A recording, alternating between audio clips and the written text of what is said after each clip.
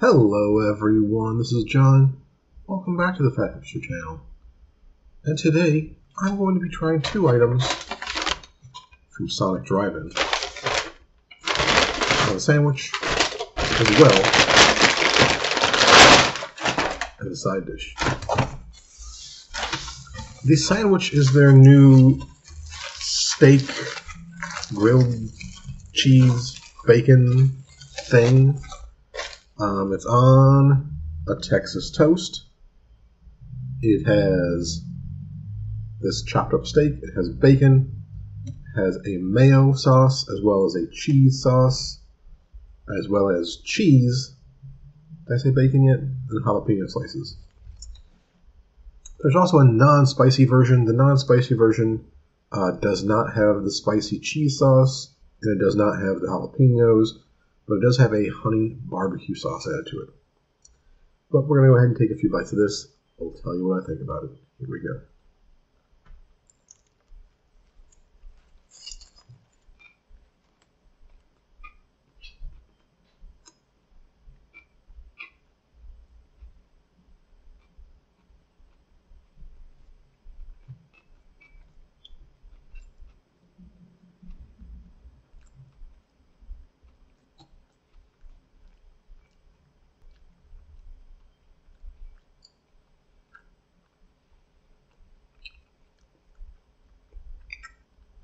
Um, the main flavor I'm getting here is from the jalapeno slices.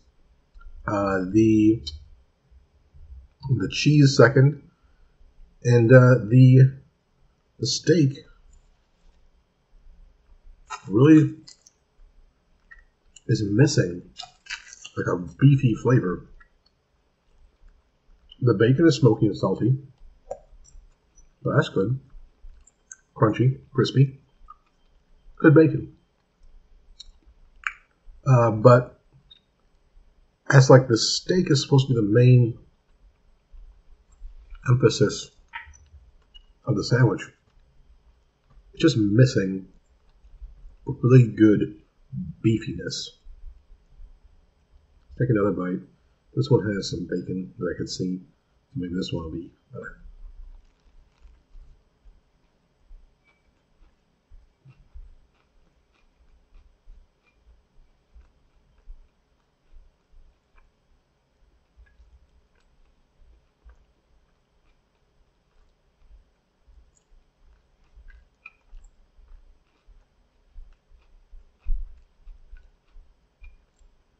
The sandwich is really not my favorite.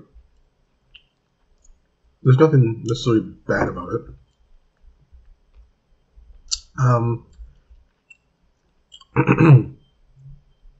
I wish the bread was either like definitively toasted, so it had a, like a crunch or a crispiness to it.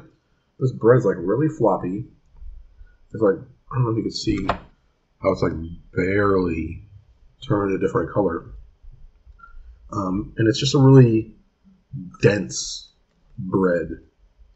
Um, it is Texas toast, but you can have like a lighter bread and still be a thick cut. This is a very thick cut. And it's almost like a brioche-ish texture to it, feel. So it's like having uh, meat between two sponges, basically. It's thick and dense and spongy. Uh, so, if you're going to Sonic, I would recommend that you skip this. Uh, it's just not uh, you, you order a steak sandwich and you want something very beefy, and the meat on this is kind of bland. It's really depending on a lot of uh, everything else you put on there to make it a decent sandwich, and it's an okay sandwich at best. Second thing we have from Sonic are these barbecue seasoned tots. So these are supposed to taste like barbecue chips, except it's not a dust kind of seasoning. It is a liquidish seasoning. Um, so it is like a glistening tot. It smells like barbecue. Let's give it a taste.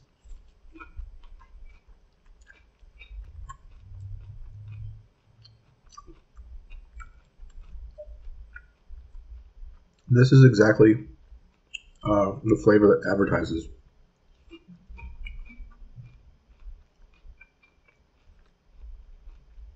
The flavor is super reminiscent. So you open a bag of chips, and that sweet barbecue flavor.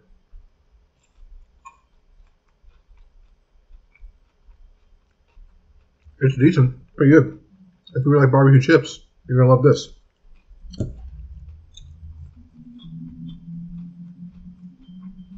The tots still have a crispy, crunchy exterior. So you still get that barbecue potato chip kind of sensation.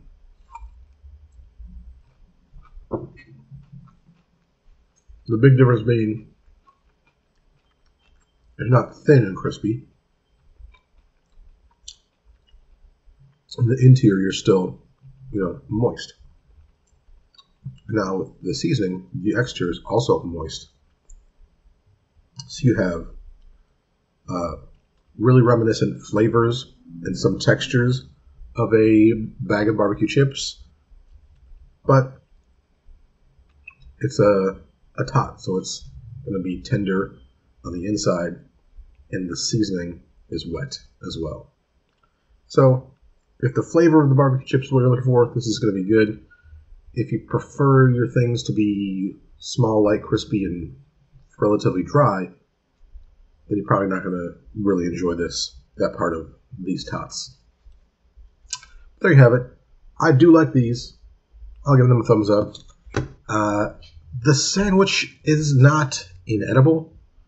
Um, I don't dislike it enough that To throw it away and not have lunch today, but I wouldn't order it again, and I wouldn't, if someone asked me, I wouldn't say it's something uh, they should necessarily go and try. Anyway, that's it for this video. Hope you enjoyed it. Give it a thumbs up. If you didn't enjoy it, give it a thumbs down. Leave a comment to tell me everything you hated about it. And I'll see you in the next one.